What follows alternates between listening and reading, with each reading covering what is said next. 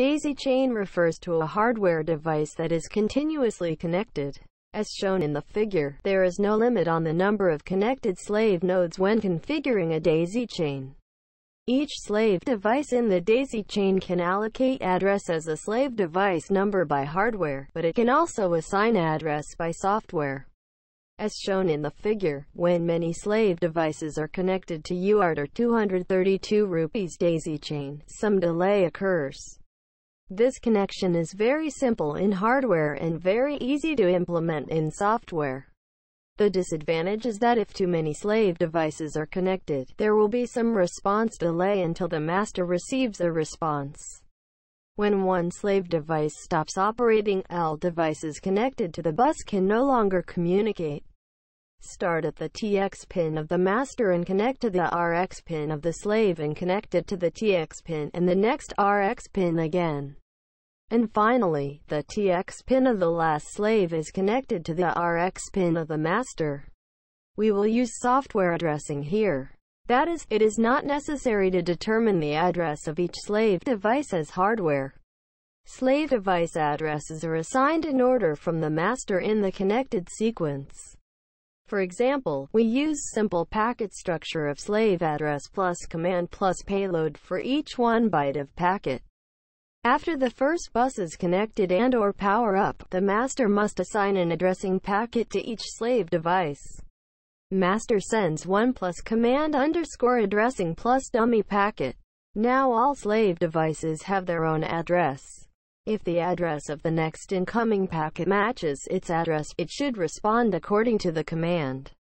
Since slave device number 1 has received 1 plus command underscore addressing plus dummy packet, it should store 1 as its own address and process if receive address 1 packet from next. It then increments the address by 1 to send 2 plus command underscore addressing plus dummy packet to next slave device. Slave device number 2 has received a command underscore addressing packet as 2 plus command underscore addressing plus dummy, so it stores address 2 as its own address. Receiving a packet of slave address 2 from the next should process. Finally, when n plus command underscore addressing plus dummy is entered in the master, the master remembers that the number of slave devices connected to the bus is n minus 1.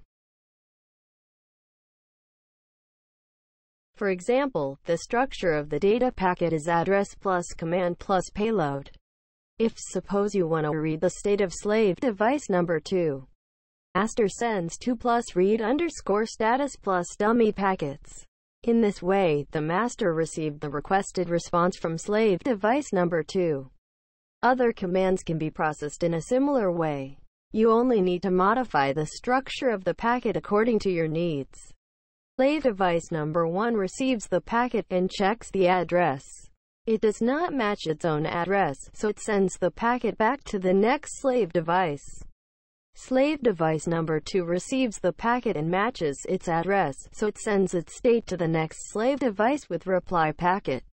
At this time, the packet can be transmitted by sending 2 plus read underscore status plus status packet it using the address 2 of slave device number 2 then the next slave devices cannot have address 2, so they continue to reply and the master will finally receive the packet.